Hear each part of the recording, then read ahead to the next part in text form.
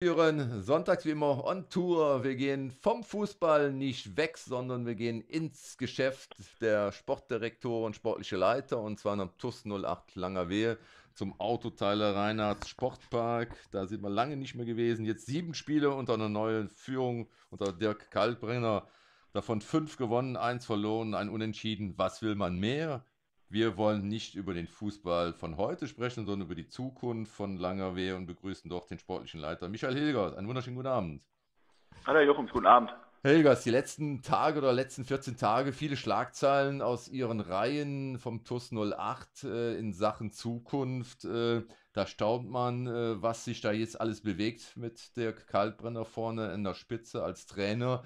Man sieht es auch im Spiel, fünf gewonnene, ein Unentschieden, ein verlorenes und die Tendenz ist weiter positiv nach oben. Äh, wo wollen Sie mit Ihrem Verein nun in die Zukunft finden, wenn man schon die Neuverpflichtungen sieht? Äh, da wundert man sich ja nicht, man, dass man vielleicht äh, die nächste Saison Richtung Landesliga äugelt. Erstmal freut es mich, dass wir momentan wieder positiven Fußballergebnisse erzielen. Das ist äh, nach der Hinrunde auch bitter nötig. Also wir waren absolut nicht zufrieden mit der Hinrunde, äh, haben das natürlich auch in der Winterpause analysiert, äh, zu gucken, ja, was müssen, an welchen Stellschrauben müssen wir drehen, was müssen wir verändern, um mit dem erfahrenen Trainer Dirk Kalkbrenner auch wieder ja, positive Schlagzeilen schreiben zu können. Das gelingt uns bis jetzt ganz gut und für die Zukunft, klar, wir äh, haben Ambitionen, aber ich möchte erstmal nur erfolgreichen Fußball sehen. Ich denke jetzt nicht an die Landesliga schon äh, oder möchte unbedingt aufsteigen, sondern einfach nur, wir wollen äh, erfolgreichen Fußball spielen, wir wollen dominanten Fußball spielen und äh, wenn wir diese zwei Komponenten auch äh, ja, spielen wollen wir auch, werden wir auch Erfolg haben. Und Erfolg heißt natürlich auch, dass wir oben angreifen wollen, ganz klar. Ja, Sie haben aber immer vor Monaten immer davon gesprochen, Ihren Verein, Ihre Mannschaft zu verjüngern. Aber wenn man die Neuverpflichtungen sieht, zum Beispiel Kevin Zander und Marc Wollersheim zum Beispiel, zwei Garanten, die ja schon mehr als Landesliga-Erfahrung haben, äh, unter anderem, dann deutet sich doch da äh, eine gewisse Änderung in der Marschrichtung, oder? Nein, definitiv nicht. Nein, absolut nicht. Wir sind, ich sehe uns Langer Wehe immer noch als Ausbildungsverein. Wir haben einen Durchschnitts, Altersdurchschnitt von etwas mehr als 22 Jahre aktuell.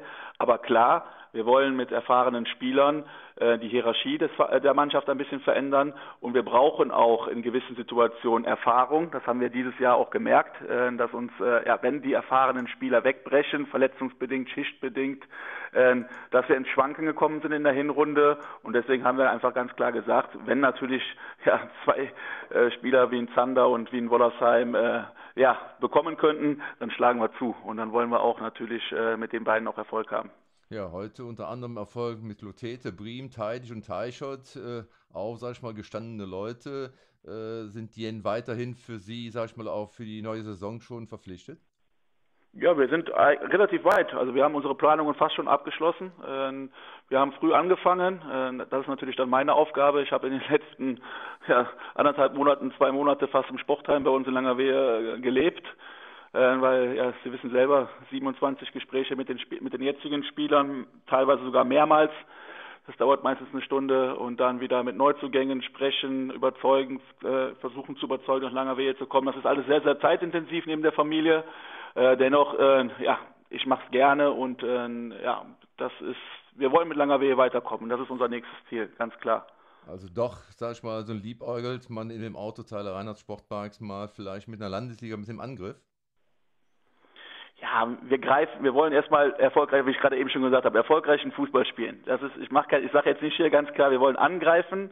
Äh, natürlich hat man eine gewisse Erwartungshaltung und äh, aber das machen wir intern. Wir arbeiten intern die äh, die Pläne, die Ziele, Saison, Saisonziele mit der Mannschaft aus und ich werde jetzt ganz klar nicht sagen, wir wollen aufsteigen, äh, weil dann das mache ich nicht.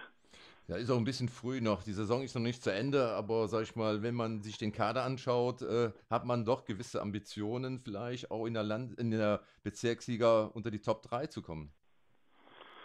Klar, erstmal das erste Ziel ist jetzt erstmal die Saison vernünftig zu Ende bringen. Wir haben ganz klar äh, ein Ziel ausgearbeitet äh, vor dem ersten Rückrundenspieltag. Wir haben sogar einen Vertrag mit der Mannschaft gemacht, welche Ziele wollen wir erreichen.